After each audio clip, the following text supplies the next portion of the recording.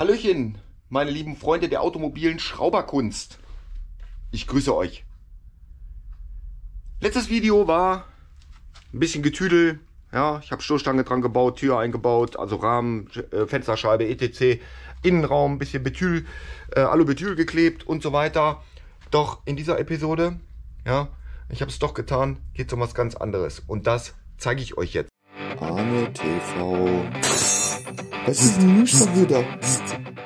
So, und wie ihr seht, Thema Sitzbezüge. Das ist meine Farbkombo. Hier haben wir den eigentlichen Sitz und das lange ist die Rückenlehne. So, das wird in schwarz mit roten Ziernähten, wie man sieht, und beige abgesetzt in den Seiten. Und dann kommen hier an die Seiten und vorne rum kommt wieder das schwarze Kunstleder. Das habe ich getrennt, sauber gemacht und so weiter. Das wird wieder dran genäht. Es ist sehr viel Arbeit. Das ist jetzt zum Glück der letzte Sitz. Rückbank ist fertig, Rückenlehne sind fertig, Armlehne ist fertig, ein Sitz ist fertig, letzter Sitz wie gesagt.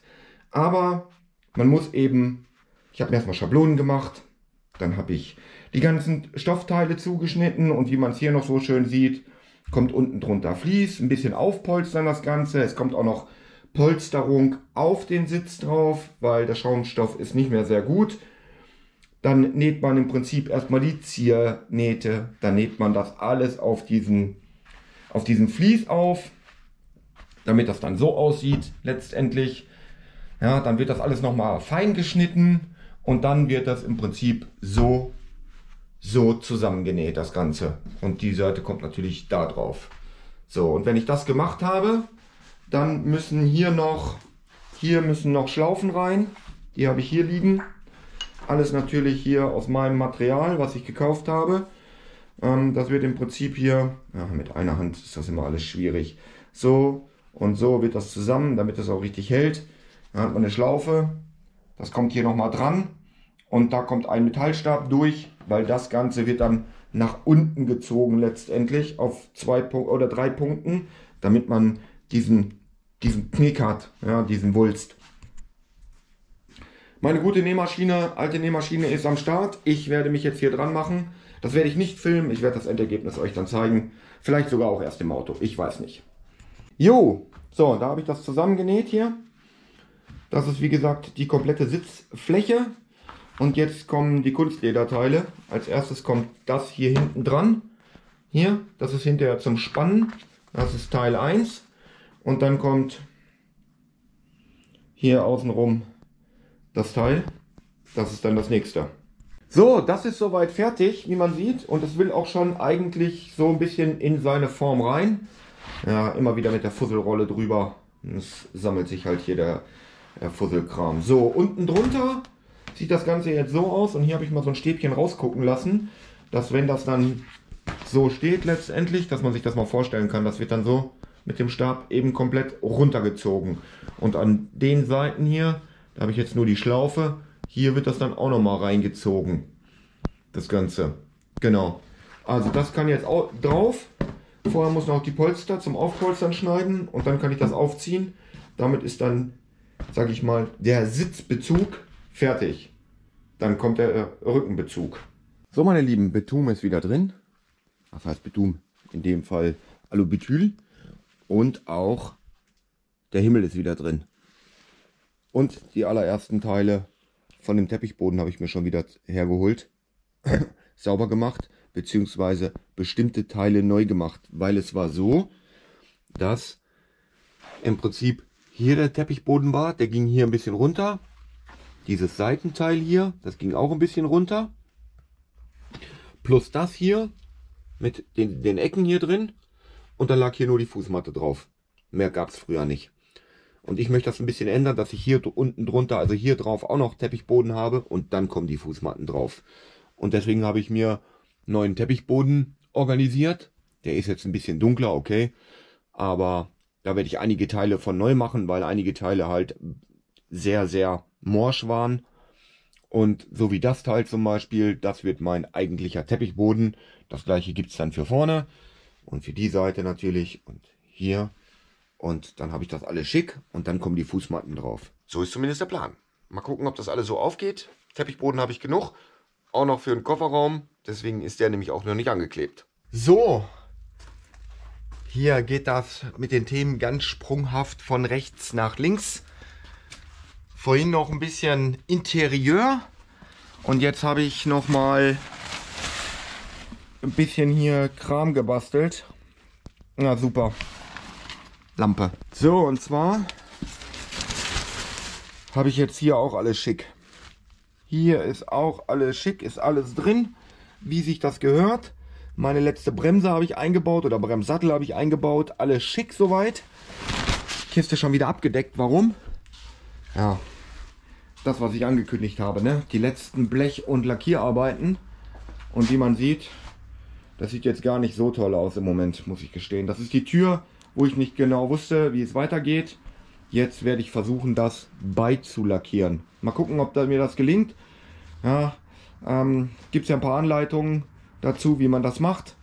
So mit Taschen und diesen ganzen Kram. Ich probiere das jetzt einfach mal aus. Mal gucken, ob das funktioniert. Und dieser Streifen hier unten, der kriegt wieder Steinschlag. So wie es im Original auch war. So, trotzdem spachtel ich das natürlich ordentlich und mache dann eine ordentliche Oberfläche. Bin halt ein bisschen penibel, was das angeht. Und das muss natürlich 100%ig sein. Und ähm, da bin ich mal gespannt, wie das aussieht. Zum Schluss. So, die Bearbeitung der letzten Blechteile für die Lackiervorbereitung. Und auch bei mir läuft nicht alles immer nach Plan und hundertprozentig. Ja, die Arbeit eines halben Tages wurde gestern Abend noch mal kurz vernichtet. Mir ist alles hochgekommen hier an der Stelle. Und zwar genauso, wie man das hier sieht. So. Ich habe dann gestern Abend aufgehört. Warum auch immer. Da hat der alte Lack unten drunter reagiert. Hier die ganze Stelle auch. Ja, die ganzen Ecken hier unten. Ja, und jetzt bin ich halt wieder am Schleifen, das Ganze glatt zu kriegen, anzugleichen, damit ich dann irgendwann mal mit dem Lack beginnen kann. Ja, meine Lieben, ein kurzes Zwischenupdate zu meinen Lackierarbeiten. Die Türinnenseite ist komplett fertig. Ich habe jetzt hier noch eine Stelle, die beilackiert werden muss. Wie ihr euch erinnert, hier war die Riesendelle mit diesen riesen Kratzern drin. Ähm, ich habe die nicht rausgedrückt gekriegt, also habe ich hier mir jetzt wirklich mich dazu entschlossen, das beizulackieren. Die Kotflügel, die ihr hier seht, da ist die Beilackierung zumindest mit dem Lack schon passiert. Da fehlt jetzt noch der Klarlack. Bei der Tür ist hier unten der Steinschlagschutz neu gekommen. Der ist auch lackiert mittlerweile. Und hier geht es jetzt um die Innenkanten. Die sind noch grau. Also die Tür muss einmal gedreht werden. Einmal von innen aus lackiert werden noch. Und dann ist das auch Geschichte. Hier fehlt dann noch der Klarlack, genau wie da. Das mache ich dann alles in einem Rutsch. Und dann bin ich mit den Lackierarbeiten, was die Blechteile angeht, erstmal fertig. Ein Teil habe ich dann noch. Motorhaube ist das letzte Teil, was ich mir dann nochmal genau angucken muss. Und ich weiß, da gibt es auch noch was zu tun. Des Weiteren ist es so, ich habe mir den Motor vorgeholt.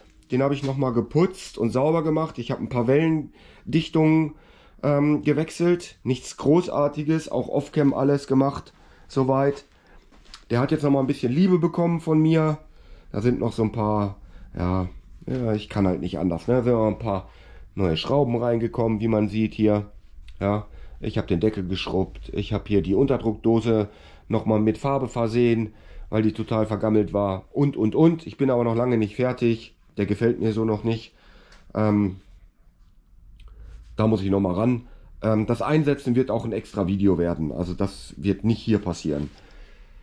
Der Motorraum als solches, ja, den kennt ihr ja mittlerweile so äh, schon. Ähm, das ist jetzt in dem Status, wo im Prinzip der Motor rein kann. Ja, es gibt so ein paar Kleinigkeiten noch zu erledigen. Kleinigkeiten heißt, hier für den Anlasser zum Beispiel, hier, da fehlt mir noch ein Schuh. das muss ich noch zusammenlöten. Da fehlt mir noch hier so ein Elektroschuh. Der muss da noch dran. So, der liegt hier auch schon. Sonst ist hier soweit alles grün. Die Wasserschläuche sind mittlerweile auch drin. Die Unterdruckschläuche sind nochmal getauscht. Das sind jetzt die richtigen, die auch richtig fest sind vom Gewebe her. Die sind alle komplett verlegt. Ja, Überlaufbehälter ist drin für die Servopumpe. Ähm, Der Servobehälter für, die, für das Servoöl ist drin. Dieser Schlauch hier, den bekomme ich noch neu. Den habe ich bestellt. Ja, weil das ist ein ähm, äh, Getüdel gewesen hier. Da ist hier unten einfach nur dieses Ding hier mit einer Schlauchstelle dran. Ähm, die sind normalerweise verpresst. Ich will da kein Risiko, Risiko eingehen. Es ist kein Druck auf der Seite. Der Druck ist auf, auf der Seite, also alles was reingeht, was zurückkommt.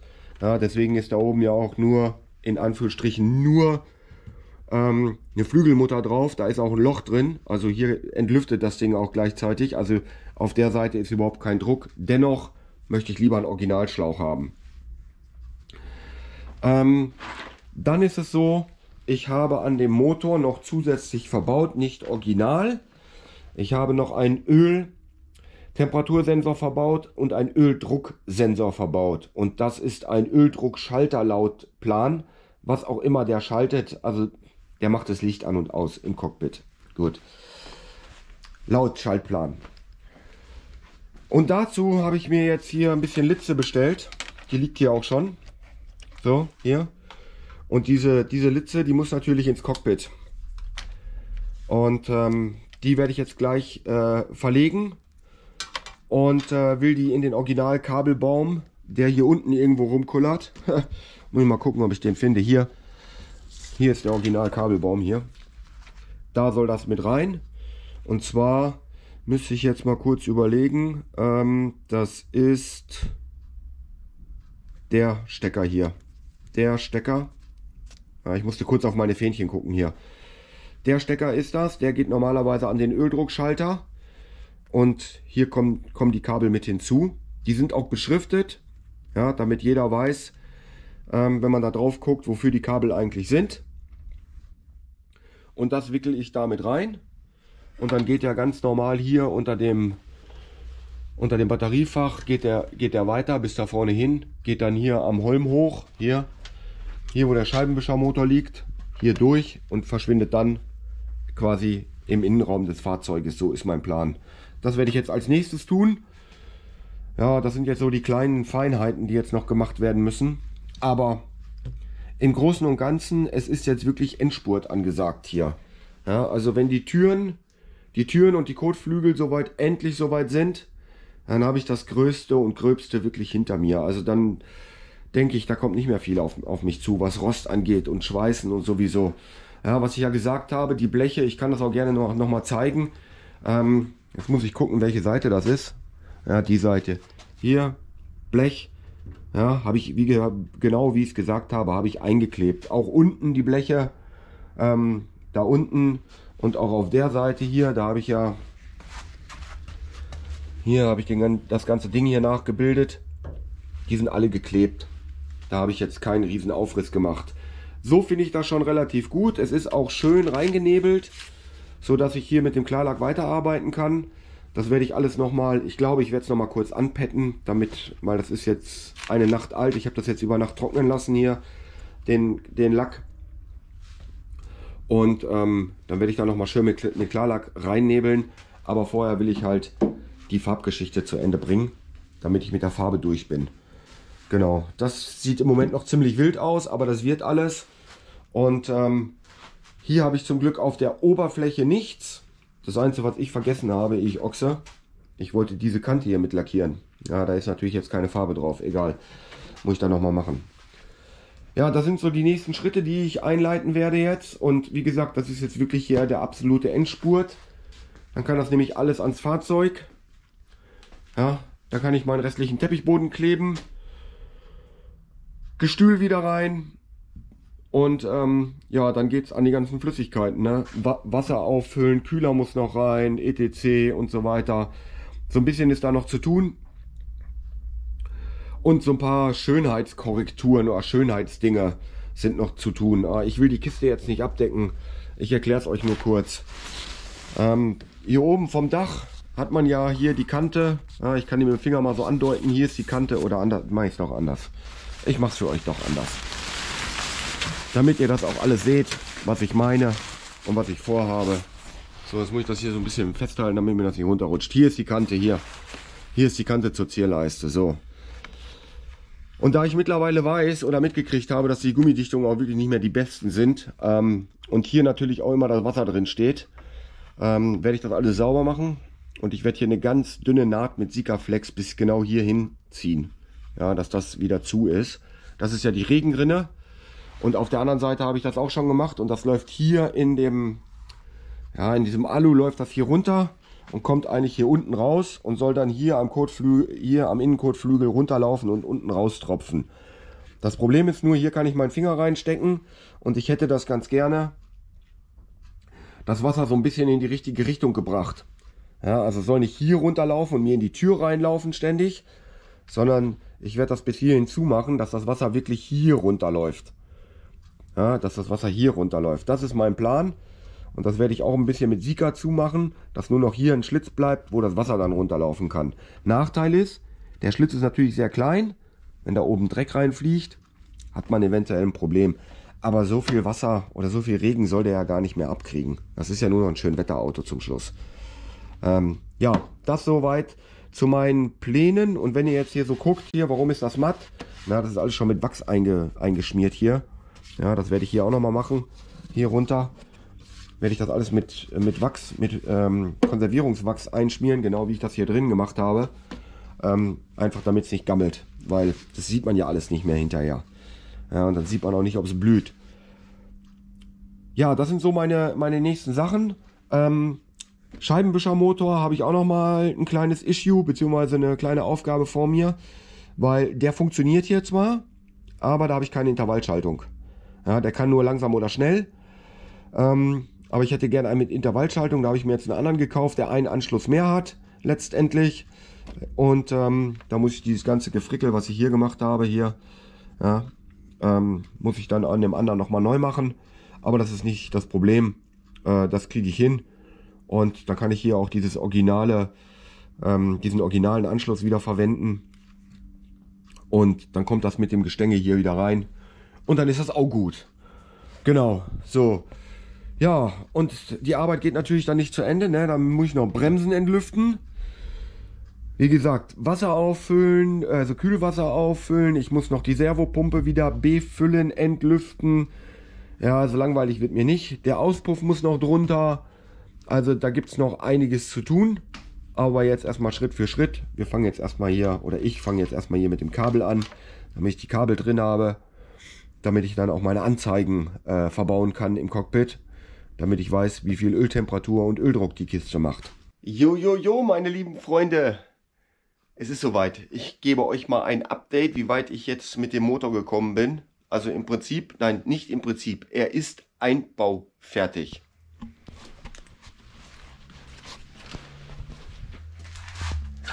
So, hier steht das gute Stück.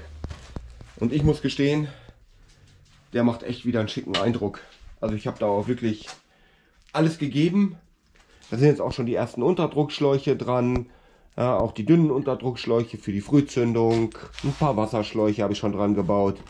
Ähm, die ganz normalen Zündkabel sind drin. Ja, mein Lüfterrad ist vorne drauf. Riemen sind, Riemen sind drauf. Alles das, was ich so vorbereiten konnte, habe ich jetzt vorbereitet. Und die Kiste kann da rein. Doch alles weitere, wie es weitergeht, erfährst du in einem weiteren Video. Für dies reicht es heute. Ich wünsche euch alles Gute. Bis zum nächsten Mal. Macht es gut. Tschüss.